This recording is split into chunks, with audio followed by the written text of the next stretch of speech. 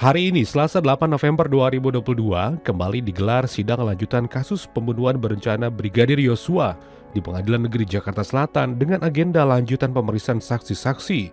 13 orang saksi dihadirkan di persidangan, terdiri dari ajudan dan asisten rumah tangga Ferdi Sambo. Terdakwa Ferdi Sambo masuk terlebih dahulu ke dalam ruang sidang dengan memakai kemeja warna putih serta menggunakan kacamata dan membawa buku berwarna hitam.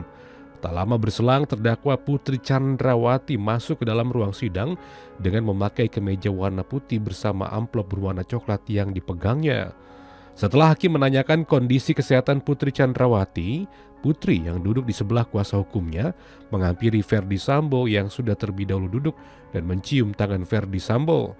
Setelah Putri Chandrawati mencium tangan suaminya, Ferdi Sambo kemudian memeluk Putri dan mencium keningnya. Ferdi Sambo ditahan di rumah tahanan Makobrimob Depok, Jawa Barat, sedangkan Putri Chandrawati di rumah tahanan Kejaksaan Agung RI, cabang Salemba, Jakarta. Dari Jakarta, Fajar Mardiansyah melaporkan untuk Pori TV.